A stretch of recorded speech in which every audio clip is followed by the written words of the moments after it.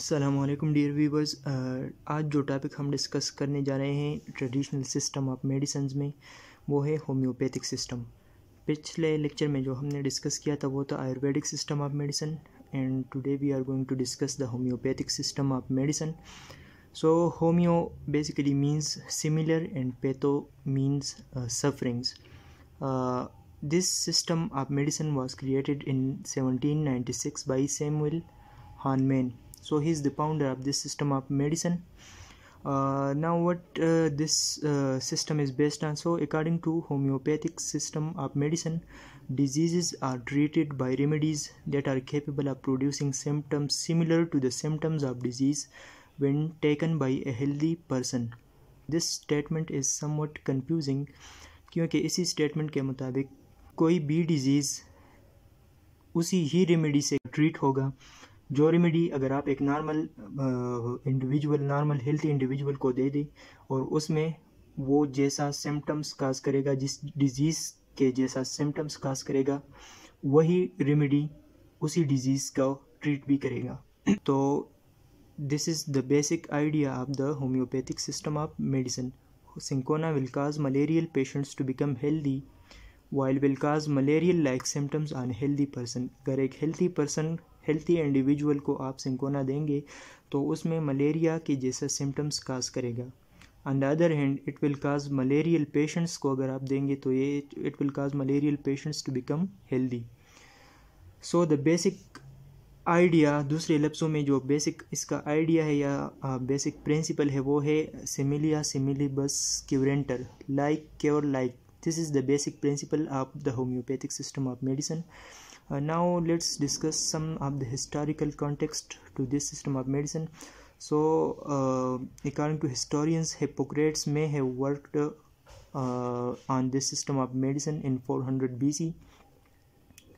In the 16th century, pharmacologist Paracelsus एक pharmacologist जो जो था उन्होंने एक स्टेटमेंट दे दी कि small doses of what makes a man ill also cures him एक किसी भी एक रेमेडी का एक डोज जो कि एक हेल्थी इंडिविजुअल में जो सिम्टम्स काज करता है उसी ही रेमेडी का डाइल्यूटेड डोज जो है वो उसका क्योर भी है उसी ही डिजीज़ का so later on the Samuel Hahnemann gave homeopathy its name now the nineteen century was the century in which the homeopathic system of of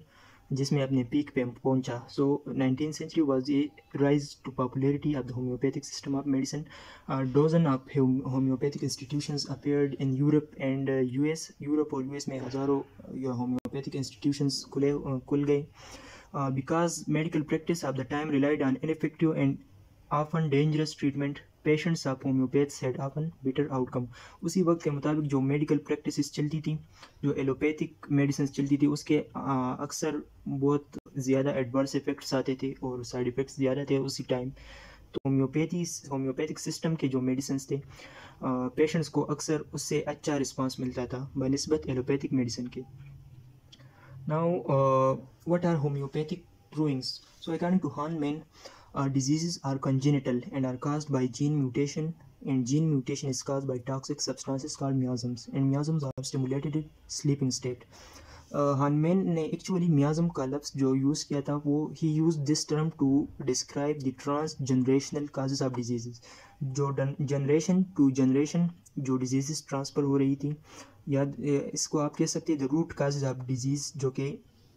जो कि it goes back to uh, previous generations. So according to Hahnemann, the five main miasms are uh, cancer, tuberculosis, gonorrhea, syphilis, and SORA. So these are five uh, main miasms according to Hahnemann. Now the preparation and treatments of the homeopathic system. So practitioners rely on two types of references when prescribing. दो main references normally homeopathic homeopaths use करते हैं number one is the materia medica number two is the repertories so materia medica में मुख्तलिफ drugs uh, को alphabetically arrange किया गया होता है कलेक्शन ऑफ ड्रग्स हैं uh, जो जिसमें ड्रग्स को अल्फ़ाबेटिकली अरेंज किया गया है जबकि रिपोर्ट्रीज में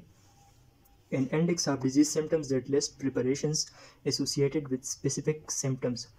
specific uh, जो सिम्टम्स होते हैं उसके मुताबिक डिफरेंट uh, प्रिपरेशंस को लिस्ट किया गया होता है जो कि रिपोर्टरीज में और होम्योपैथ्स uh, उसको यूज़ करके ट्रीटमेंट एडवाइज करते हैं Hahnemann found that undiluted doses cause reaction sometimes dangerous once so specified that doses be given at the lowest possible dose man ने ये स्टेटमेंट दी कि अगर एक डोज आप अनडाइल्यूटेड देंगे तो वो सिवियर एडवर्स रिएक्शन काज कर सकता है सो एक स्पेसिफिक रेमेडी का जो डोज आप दे रहे हैं वो आप डाइल्यूट करके दे दें ताकि साइड इफेक्ट्स उसके कम से कम हो so this was all about the homeopathic system of medicine in the next lecture we will discuss the Unani system of medicine